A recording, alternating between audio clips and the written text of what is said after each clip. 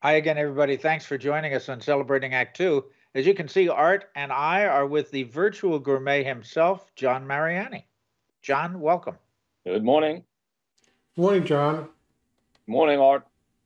Uh, I have a question for you. Uh, uh, I love reading the uh, your newsletter, uh, johnmariani.com, the virtual gourmet. And uh, every so often you highlight uh, a, a luminary in, in the business.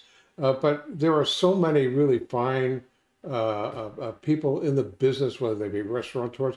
How do you, you, you, and you recently did an obituary on somebody I had not heard of, Jasper White, but in general, how do you choose who it is that you will highlight in a bio? They're all very well written, but I was just wondering what is your thought process on highlighting somebody? Because there are a lot of people who you don't. Well, they have to be people, either restaurateurs or chefs, who have added measurably to the whole world of the restaurant business. Not just, hey, I know this great chef uh, in my in my neighborhood here. Everybody should go to this restaurant. That's a, that's a restaurant review. Well, these are people who have really formed what American gastronomy is today. They all had individual ideas. Oh, why didn't I think of that? Um, one most recently, which happened to be an obituary, because uh, I do profiles of them all the time, but this is an obituary from a man named Jasper White, who not single handedly, but more than anybody else, uh, created new New England cuisine, that is modern New England cuisine out of Boston, where he had his own namesake restaurant, uh, Jasper White, and then a, uh, a couple of places called Summer Shack, which are more casual. And he was among the first, with others like Lydia Shire, whom he knew very well and worked with, to say, you know, all the restaurants here in Boston, first of all, they have a stodgy reputation or they're places you go for fried seafood, and clams, and so forth. Um, but we really have such bounty here in New England, both out of the sea, which is obvious, but also on the land in our seasons. And they were the first to uh, really devote their menus to exemplifying the greatness that is uh, the New England provender and larder and in all of their so they would do they would do a clam chowder but it would be like any you'd ever tasted before. And they would use things like ramps and they would use fiddlehead ferns and raspberries in season. Um, they would do various preparations of lobster which is one of the great new england treasures that we have.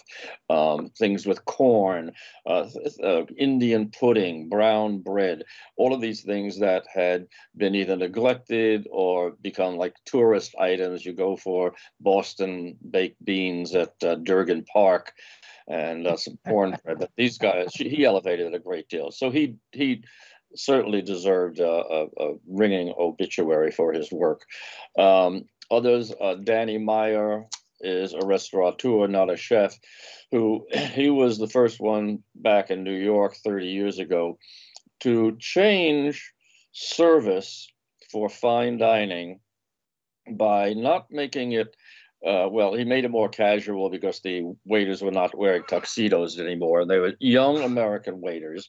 And I got to give credit to uh, Michael McCarty out there in uh, Los Angeles and Santa Monica for having much the same idea a much more casual approach and friendliness on behalf of the um, the waiters and the staff, coupled with extraordinary uh, modern Italian and American cuisine. And uh, if you think, well, what's so difficult? Well, go back 30 years and you wouldn't find that. He was hiring young Americans. There's always the would-be actors and models and so forth. But he really put them through their faces. Do you really want to work here as a waiter? Or a captain or a sommelier. I want you to really interact with people. And it changed everything.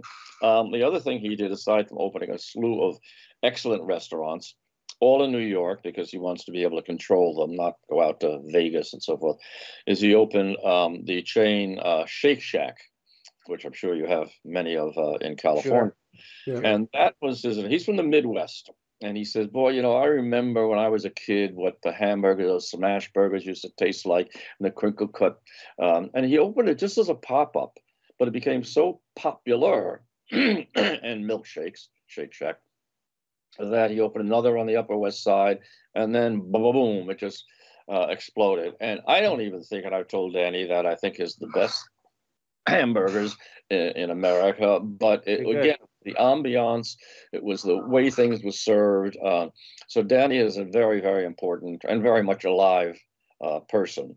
Um, another one is Thomas Keller, who is the chef owner at the French Laundry up in uh, Napa Valley.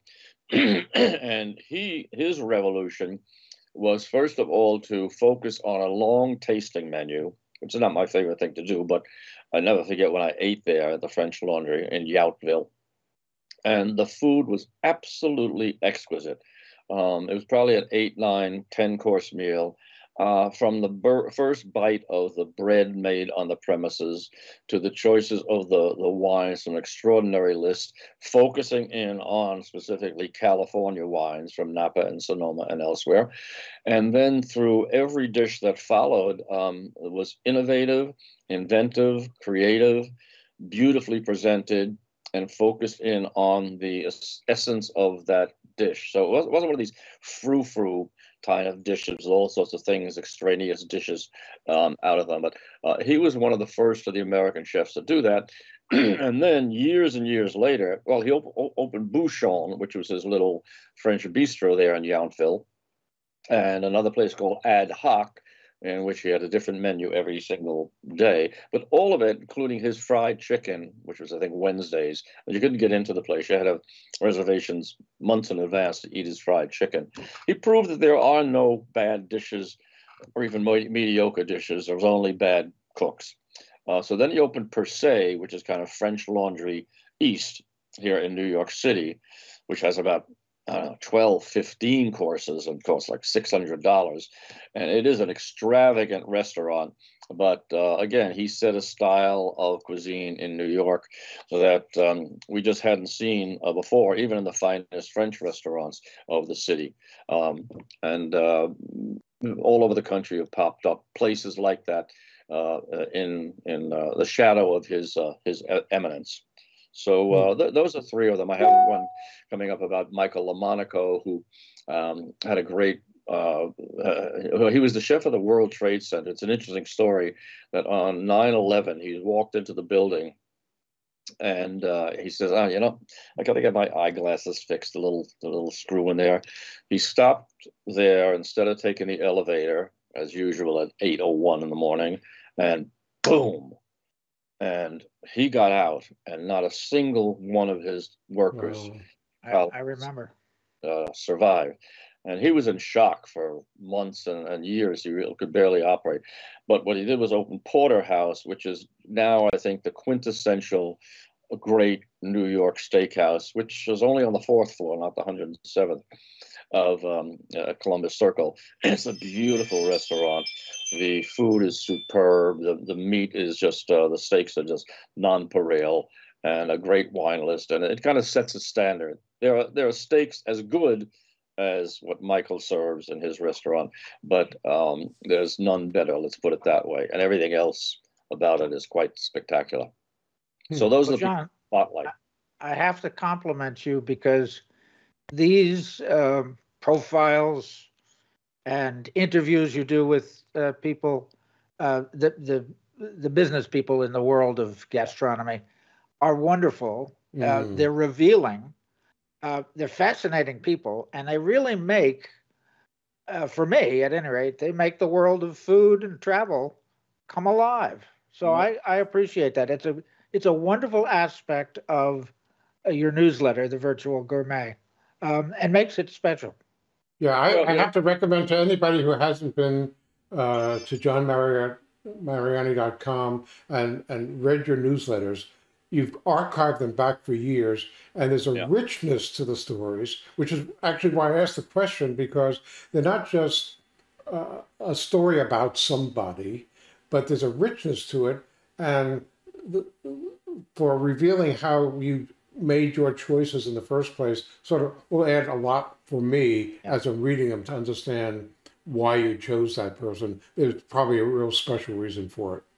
Well, thank you both. And, and uh, but uh, you know, these are all guys who have been in the business for 30, 40 years. They've seen the ups and downs, the recessions, the dot com bust, 9 11, uh, COVID. They've been through it mm-hmm. all and lasted, and they'll still get up in the morning and just can't wait to get to work to serve you and me and everybody else. Yeah. For more on Celebrating Act Two, visit our webpage, follow us on Facebook, subscribe to us on YouTube, and tell your friends. Celebrating Act Two is the user manual for the second half of your life.